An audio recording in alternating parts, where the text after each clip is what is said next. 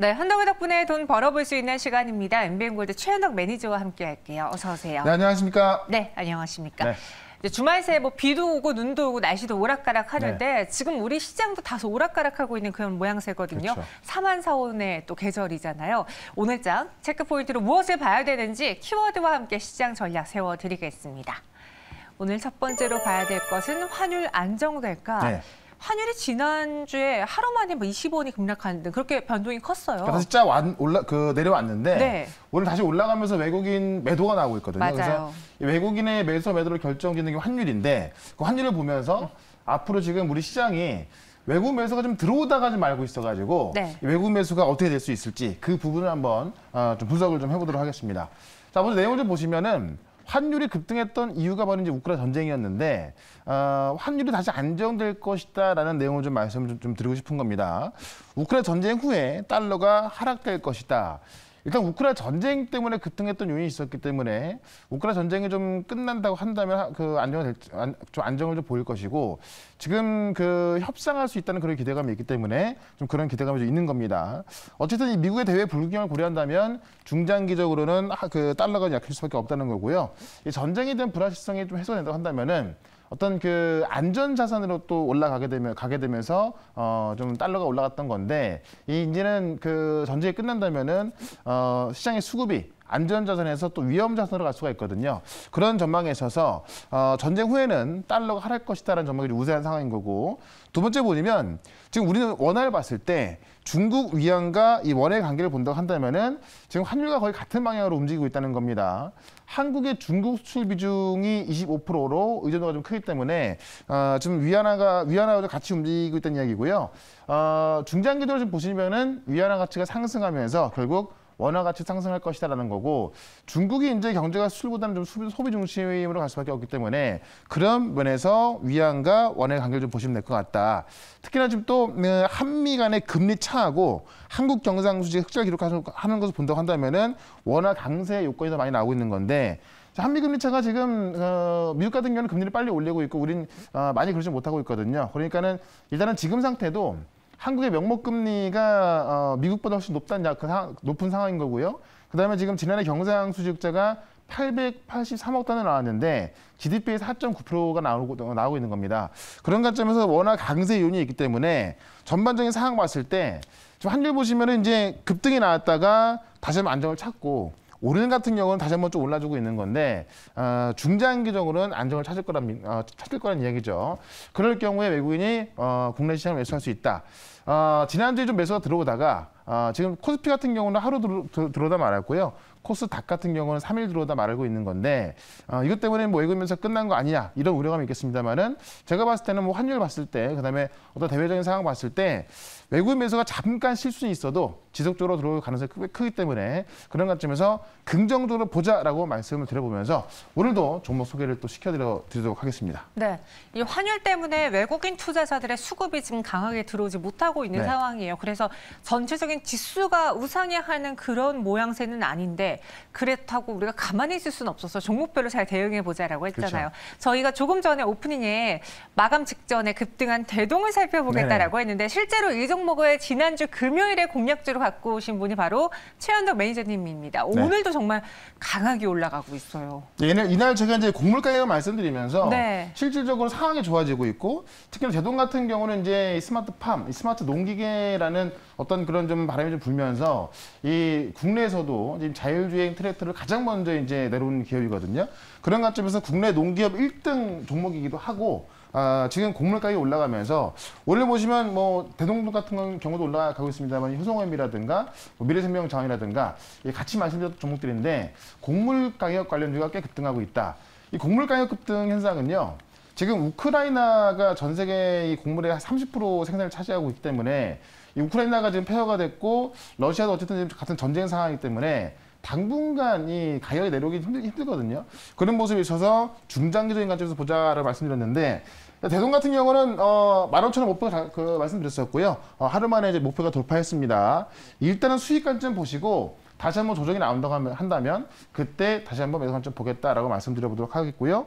그다음에 같이 말씀드렸던 종목이 바로 ST 바이오 센서인데 오늘 이제 우리나라에서 확진자가 좀 이제 적게 나왔다는 소식에 진단키트 관련주가 살짝 조정이 나오고 있습니다만은 실제 지금 영국과 어 그다음에 독일, 프랑스, 이 유럽에서는 어, 적게는 50%, 많게는 3배까지 좀 증가하고 있습니다. 영국 같은 경우 지금 스텔스 오미크론 환자가 한 2, 3주 전 대비해서 3배 넘게 그, 많이 나아지고 있거든요. 그런 관점에서 진단키트 관련주는 제가 볼 때는 오늘 조정 나왔을 때 예상 좀 보시면 될 것 같다라고 말씀드리면서 여전히 목표가 어, 6만 7천 원까지 말씀을 좀 드려보도록 하고 오늘 보시면은 사실 시장은 좀 그렇게 좋은 상황은 아닌데 어, 이 건설주들 많이 올라서고 있죠. 내용 있는 건데요. 그 내용과 함께 또 오늘 올라갈 종목 하나, 두 개 또 소개를 시켜드려 보도록 하겠습니다. 네. 아, 오늘 올라갈 종목 하나만 소개해 주신다고 해서 놀랐는데 네. 두 개, 다행히 두 개 갖고 오셨다고 합니다. 어떤 종목이 될지 첫 번째 현록의 덕분에 종목 키워드부터 알아보도록 하죠. 네. 키워드는요. 용산 대통령. 네. 아 맞아요. 지금 뭐 용산의 시대가 열린다. 그쵸. 그렇- 이어, 이야기가 나오고 네. 있잖아요. 이게 진짜 솔직히 저는 될지 안- 말지 좀, 좀 가봐야 될 것 같긴 해요. 네. 왜냐면 지금까지 많은 대통령들이 공약을 내세웠었지만 못했었고 다만 지금 어쨌든 좀 뭐 밀어붙이고 있는 격인데 지금 반대 의견도 많이 있기 때문에 어쨌든 이와 관련해서 우리는 주식시장에서 관련주를 좀 보시면 될 것 같습니다. 내용을 좀 먼저 보도록 할게요. 일단 오늘 보시면 용사의 본사가 있을 뿐인데 이런 종목까지도 급등을 하고 있는 겁니다. 지금 윤, 그 윤석열 당선자께서 어, 집무실 이전한다고 하면서 직접 이제 지난 주말에 보시면 직접 브리핑을 하셨죠. 그걸 보고 나서 이제 이 용산 관련주가 급등하고 있는 건데 뭐 부동산은 물론이고 주식까지 올라서고 있는 겁니다. 관련 내용을 좀 보도록 할게요. 일단은 지금 워낙에 용산은 어, 이 대규모 공원이 들어서게 돼 있던 건데 그와 맞물려서 지금 일단은 이제 그 대통령 집무실까지 용산을 옮기겠다는 이야기고요. 국방부 조감들을 설명하면서 이제 대규모 시민 공원에 대한 의지도 좀 많이 이야기했습니다. 그래서 일단은 국방부 남쪽 용산 미군기지 부지 활용해서 국민이 활용하시는 공간도 확대하겠다고 해서요. 뭐 공원 관련주 뭐 같이 올라서고 있는 거고 지금 용산역 부근에 이제 개발 사업 이력이 있던 기업들이 다 급등하고 있는 겁니다. 뭐 어, 용산에 보면 크라운 네트홀딩스 같은 경우도 있는 건데 그런 것도 좀 올라서고 있고 어쨌든 그 용산역 부근에 있는 과거에 보시면 뭐 어떤 그 지방의 이야기 나오면요. 그 지방의 본사 두고 있는 기업들이 올라가거든요. 그런 관점에서 보시면 될 것 같고요. 이게 이제 그 임기 첫날부터 근무하겠다라고 해서 어 솔직히 제 개인적인 생각에는 가봐야 될 것 같은데 굉장히 강력히 밀어붙이고 있고 이게 사실 좀 그 쉬운 문제는 아니거든요. 이 국방부 같은 경우도 또 이전을 해야 되고 어 진짜 지금까지 한 번도 없던 일이 일어나 일어나는 거라서 두고 봐야겠습니다만은 어쨌든 의지만큼은 좀 강력하기 때문에 이런 관점 관련해서 우리가 어쨌든 그 현 새로운 정보가 들어서게 된다면 주택 공급이 좀 활발해질 걸로 보여져 있거든요. 그런 관점에서 관련주 하나를 또 말씀을 드려보도록 하겠습니다. 네, 대규모 시민공원 조성의 의지를 보이고 있고 과연 이게 될지 안 될지 모르겠지만 네. 윤석열 당선인은 지금 이에 대한 로드맵을 발표한 상황이기 때문에 강력합니다. 오늘 시장에서도 관련주들이 움직이고 있습니다. 네. 정말 이게 뭐 용산이라는 키워드 하나만 묶여서 오르는 종목도 있는데 네. 어떤 종목이 수혜를 받을 수 있을지 우리가 정말 기대를 해볼 수 있을지 첫 번째 현덕이 덕분에 종목 공개해 보도록 하죠. 네. 자, 히림. 오늘 많은 종목들이 급등했는데 네. 히림 같은 경우는 아직까지 많이 안 올라가 있거든요. 근데 주택 분야에서 히림이 어, 1등을 매출 1등을 기록하고 있습니다. 이 건축 건축 설계하고 CM 분야에 있어서 어, 두 개를 동시에 하는 이 설계 업체 중에서는 상장장에서 유일한 기업, 그 기업인데요. 실제로 국내외에서 많은 프로젝트를 지금 그 수행하고 있고 뭐 공동주택, 재건축, 리모델링, 단독주택, 뭐 타운스까지 주거 전 분야에서 업무 수행이 가능한 기업이 바로 신인입니다. 그래서 지금 이제 그 청와대가 이제 용산으로 이전한다, 그다음에 어떤 그 공원 주성한다, 또그 근처 어떤 주택 사본다라고 했을 때 신임이 가장 또 유력한 수혜주로 좀 거론, 거론되고 있는 거고요.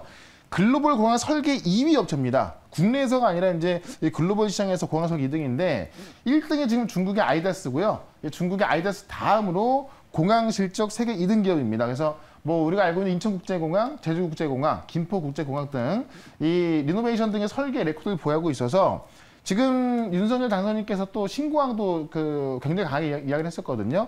그와 관련된 수혜들이 보셔도 될 것 같고요. 지금 리모델링 시장도 지금 활성화될 거로 좀 보여지는 건데 어, 지금 뭐 용산 이전에 이- 그 앞서서 충분한 주택이 공급되도록 재건축, 재개발, 리모델링 지금 활성화되고 있고 현재 서울 시장과도 같은 그 결을 같이 하고 있기 때문에 이 관련주도 꽤 세게 올라갈 좀 보여집니다. 그런 관점에서 리모델링 관련주기도 합니다. 그래서 힘을 좀 말씀드리는 거고요. 차트 한번 좀 보도록 하겠습니다. 차트 보시면 오늘 용산 공원 관련해서 자연과 환경 같은 경우는 거의 상한가 들어가 있는 건데 지금 히림 같은 경우는 많이 못 올라가 있죠. 다른 종목들 같은 경우는 지금 요 부분 올라가 있다 한다면은 히림이 실제 설계 시행 분야에서 주택 건설 분야 1등이기도 하고요. 그다음에 지금 공간 건설 분야에서 글로벌 2등이기도 하고 그다음에 리볼링 그 리모델링 분야에서 많은 또 수주를 따내고 있는데 그런 관점 본다고 한다면은 저는 충분히 지금도 접근 가능하다 이렇게 말씀드리면서 일단은 목표가를 어, 정고점대인 11,500원까지 말씀을 좀 드려보도록 하고요. 손절가는 8,500원으로 정리를 해보도록 하겠습니다. 네. 전고점인 11,500원의 목표 주가를 제시해 드렸고요. 손절가는 8,500원 이야기해 드렸습니다. 오늘 시장에서 이런 종목들 많이 움직이고 있는데 저희가 잠시 후 상황실에서는 서부 T&D 그 종목도 또 리오프닝하고 네. 용산주회로 오르고 있거든요. 그 종목 자세히 전해드리도록 할게요. 그럼 두 번째 현덕이 덕분에 공략주도 공개해 보겠습니다. 먼저 키워드인데요. 중국의 폐배터리가 폭증한다. 그리고 오늘 폐배터리 관련한 시장이 네. 커진다라는 관련 기사가 또 나오면서 네. 몇몇 종목들이 움직였어요. 그러니까 사실 이런 기사가 진짜 많이 나오고 있었는데 네. 지금 전 세계에서 전기차 시장이 가장 큰 건 중국이거든요. 그 중국에서부터 먼저 움직이고 있는 겁니다. 그래서 그 내용을 좀 먼저 보도록 하겠습니다. 어, 전 세계에서 가장 큰 전기차 시장의 이 폐배터리가 지금 폭증하고 있다. 폐배터리 재활용 시장이 폭발적으로 성장할 것이다라는 이야기 나온 건데 실제로 보시면 뭐 조만 그 고만고만하게 커지다가요. 지금 작년부터 좀 커지고 있는 모습 보여주고 있고요. 2025년도에는 폭발적으로 증가할 거다라는 이야기인데 내용을 좀 먼저 보도록 할게요.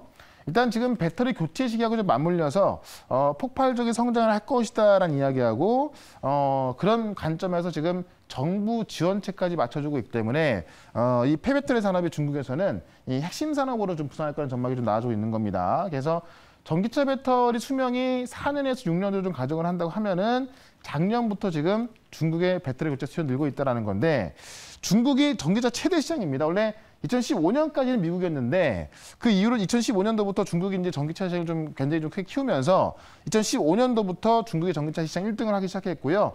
전기차 최대 시장인 거죠. 판매량은 지난해 352만 대 기록했는데 그게 전년 대비해서 157%가 증가한 겁니다. 그런 관점에서 지금도 최대 시장입니다만은 계속 크고 있는 시장인 거고 그런 시장이 작년부터 지금 폐배터리 수요가 늘기 시작했다는 이야기고요. 어, 2025년도 폐배터리 재활용이 대폭 성장한다는 이야기인데 여기서 가장 눈에 띄는 게 뭐냐면은 폐배터리를 영위하는 기업이 2011년도에는 그러니까 10년 전에는 200개밖에 없었습니다. 근데 2017년도에는 1000개가 됐고요.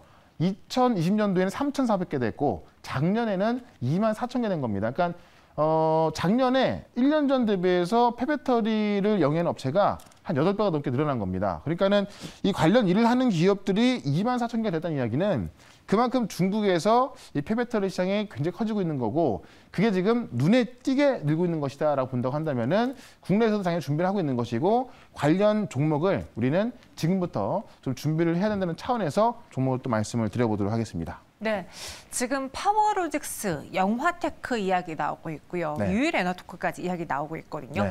관련 종목 중에 어떤 것이 최현동 매니저님의 픽을 선택을 받았는지 여러분의 종목인지 궁금한 종목인지 한번 확인해 보세요. 네. 두 번째 공략주는요. MPC입니다. 네, 앞서 말씀해 주신 것도 맞는데 네. 어, MPC가 이제 관련 기술을 갖고 있으면서 주가 움직임이 상당히 좋게 나옵니다. 그래서 좀 어, 봐야 될 것 같은데요. 일단은 지금 MPC 같은 경우 보면은 이제 배터리 전용 그 처리 연기 특허를 보유하고 있어가지고 실제로 지금 현대글로비스하고 이제 전기차 전용 용기를 공동 개발하고 특허를 취득했습니다. 그래서 어, 현대하고 좀 같이 할 가능성이 꽤 크고요. 기존 대비 세 배 이상 배터리 운송 효율성을 좀 증가시키고 있어서 업계에서는 MPC가 국내 최초 전기차 이 배터리 전용 플랫폼을 어, 그 역할을 수행할 거로 좀 보고 있는 겁니다. 그래서 지금 시장에서는 그 MPC에 이 좀 거는 기대가 상당히 많고 가장 중요한 것도 뭐냐면 최대 주주가 50% 이상 보유하고 있기 때문에 어, 이 최대주가 50% 이상 물량을 보유하고 있다는 이야기는 유통주가 많이 없다는 이야기입니다. 유통주가 40%가 안 되거든요. 그러니까는 무언가 호재가 나왔을 때 살 수 있는 물량이 많이 없는 이런 걸 품절이라고 하는 건데 유통주가 많이 없기 때문에 주가의 급등 가능성이 꽤 크다라고 좀 보시면 될 것 같습니다. 그런 관점에서 어, 내용도 내용입니다만은 수급적으로 주가의 움직임이 가장 빠르게 나올 수 있다라고 보면서 어, 이 그 차트를 좀 보도록 하겠습니다. 최근에 폐배터리 관련주들이 관련 시장 전망이 좀 많이 나왔음에도 불구하고 많이 못 올라갔거든요. 저 MPC 같은 경우도 주가 보시면 어떤 급등락이 아직은 많이 안 나오고 있습니다. 보통 이런 것들을 보시면 이제 좀 매집하고 있다 이런 얘기를 좀 많이들 하게 되는데 아직까지 그런 상황인 거고요. 다만 최근에 움직임이 좀 그 오른쪽으로 좀 틀고 있어가지고요. 위쪽으로 틀고 있어서 어, 조만간 지금 중국 시장의 시장, 시장 자체 커지고 있기 때문에 그런 관점에서 제가 볼 때는 이 9,500원대 매물을 돌파할 거로 좀 보입니다. 먼저 미리 사는 차원으로 먼저 말씀을 좀 드려, 드려보도록 하겠고요. 돌파했을 때 11,000원까지는 좀 쉽게 올라갈 수 있을 것 같습니다. 그래서 일단은 목표가를 11,000원까지 말씀을 좀 드려보도록 하고요. 손절가는 8,700원으로 대응을 해보도록 하겠습니다. 네, 바로 NPC였습니다. 목표 주가는 11,000원, 손절가도 8,700원으로 제시해 드렸습니다.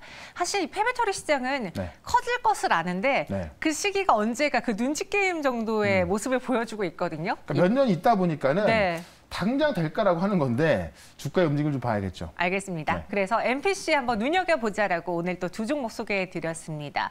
그리고 그 외의 이야기를 네. 또 저희가 실감나게 들어볼 수 있는 시간이 있다고 해서 다시 네. 한번 소개해 드려볼게요. 네, 일단 오늘 4시에 무료 방송이 있고요. 오늘 4시에 이제 제가 지난주에도 곡물 관련해서 좀 많이 말씀드렸는데 지금 실제로 원자재 움직임이 심상치 않거든요. 맞아요. 네, 그래서 오늘도 좀 말씀드릴 거니까 4시에 좀 참여를 하시면 유튜브에서 최현덕으로 검색하시면 좀 볼 수 있을 것 같고 또 이번 주 토요일 날 메타버스 강연을 준비했습니다. 메타버스 강연이에요. 네. 실제로 이제 지금 그 메타버스 메타버스 하는데 많은 분들이 실감을 못 느끼는 분들이 있거든요. 저희도 지금 코로나 때문에 오프라인 강연을 못 하고 있어서 메타버스 강연을 통해서 실질적으로 이제 강연에 오셔서 이제 이 강연을 들을 수 있을 정도 준비를 했으니까요. 어, 이 이프랜드 앱을, 앱을 다운로드 받으신 다음에 아바타를 만들고 이 매일경제 TV로 어, 검색해서 입장하시면 토요일 날 어, 이 메타버스 강연회를 직접 참여할 수 있을 것 같습니다. 혹시 저 캐릭터가 지금 최현덕 매니저님을 유사하게 만든 건가요? 아니면은 네, 제 똑같지 않나요?